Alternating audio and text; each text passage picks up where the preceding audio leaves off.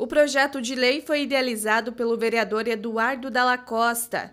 Com a aprovação, fica denominada de Frei Nelson Rabelo a via pública localizada no loteamento Shopping, no bairro São Luís, em Pato Branco. Um é, loteadora do nosso município que está abrindo loteamentos, e aí a parte de nomenclatura das, das ruas né, compete aos vereadores. É, fui procurado, ele tinha essa intenção, assim como eu também, de, de destinar o nome do Frei Nelson em uma das ruas da nossa cidade. Né?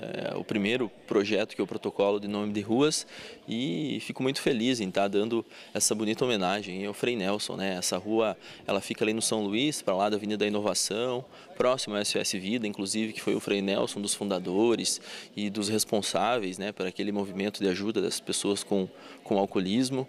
Então, uma singela homenagem ao Frei Nelson e agora além de estar no, no coração e, e, no pensamento aí de, de vários patobranquenses, também está nominado uma rua agora com o nome dele, que vai ficar aí para a história, aí, né? uma rua muito abençoada, com certeza.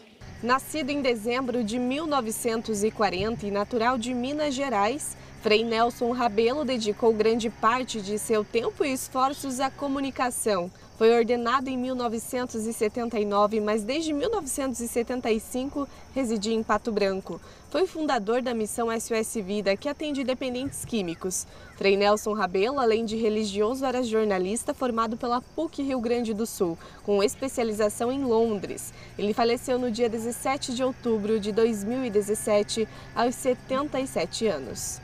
Com um extenso currículo, Frei Nelson Rabelo dirigiu a Rádio Vaticano para a língua portuguesa, em Roma, onde permaneceu por dois anos.